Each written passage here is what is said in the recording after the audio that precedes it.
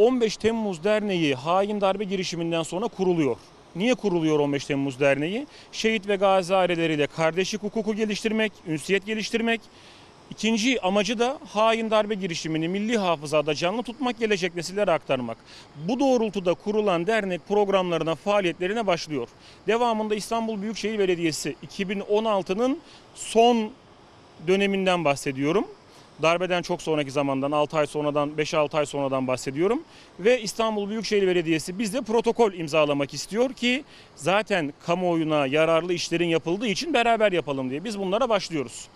Ne zamana kadar protokolümüz sürüyor? 2020'nin 25 Şubat'ına kadar.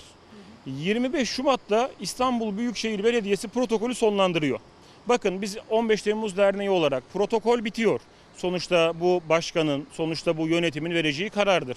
Bizim buna diyeceğimiz herhangi bir şey olmaz. Protokol sonlandırılıyor ve bize vermiş oldukları protokol gereği personel ve araçlar geri alınıyor. Personel ve araçla ne yapılıyor? Bunu çok iyi anlamak lazım. Ziyaretler yapılıyor, aile kampları yapıl- yapılıyor, kabir ziyaretleri yapılıyor. Zaten bunları derneğimizin sosyal medya, internet sitelerinde herkes görebilir.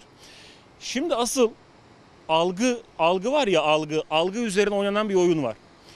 Bizim haberimiz nasıl servis ediliyor? Şöyle servis ediliyor.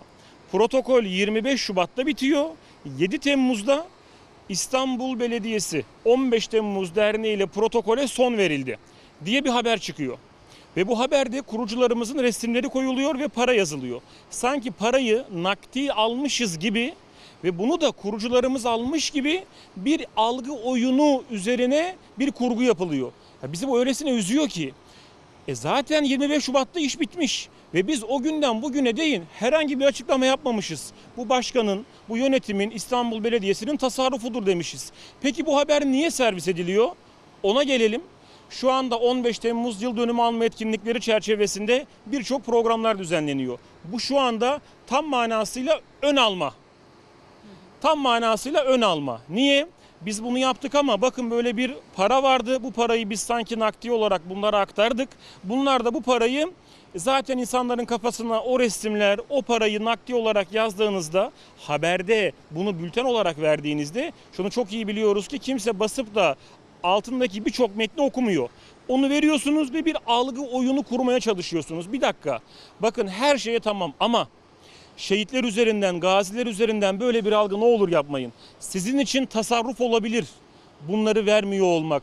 Bu tamamen sizin bileceğiniz iş. Ama bizi 15 Temmuz Derneği'ni, 15 Temmuz ruhunu biz siyaset üstü tutmaya çalışırken, siyasi bir mecraya çekmemeye çalışırken, hele ki ben bizzat 15 Temmuz mücadelesini herkes verdi diyorum. Yeni Kapı mitingine vurgu yapıyorum. Biz millet olarak bu mücadeleyi veriyoruz ama siz geliyorsunuz 25 Şubat'ta biten protokolü Şimdi gelip servis ediyorsunuz ve sanki bu parayı nakdi olarak almışız algısı yaratıyorsunuz. Bu olmaz. Bu son derece yanlış, şık olmayan, ayıp bir tavırdır ve ben kendilerini kınıyorum. Ama şunu da söyleyeyim. 15 Temmuz Derneği protokol zaten yokken işlerini yapıyordu. Ve protokol bitti diye hiç kimse üzülmesin. Biz derdi vatan olan, derdi vatan sevdası olan herkesle yolumuza yürümeye devam edeceğiz. Biz yerli ve milli olan herkesle, her kurumla çalışmaya devam edeceğiz. Hiçbir programımız akamete uğramayacak. Hepsi dolu dolu devam edecek ve 15 Temmuz'dan sonra da tüm sistemimiz, tüm programlarımız devam edecek.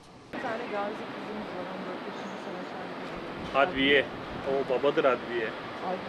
Savaşhane Parkı'na. Annesi şeye çok üzülüyor. Biz saat 3'teydi, saat kaç şu anda? Ee, 9 var. Aa güzel, 9 var. Ee, güzel oldu. Bu çok güzel şans oldu sizin de olmanız. Doğru. Böyle bir e, şeyden bahsediyoruz burada. Ben hiç görmedim haberini. İBB Independence Türkiye, Turkish bunu haber yapıyor. Ondan sonra bunu Oda TV alıyor.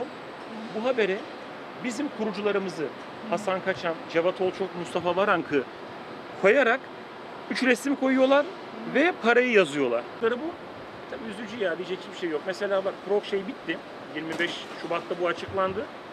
Biz kalkıp da bunu bir yerde söylemedik. Şimdi en fazla bunu biz yapabilirdik bir şey daha söyleyeceğim. Aileler gelip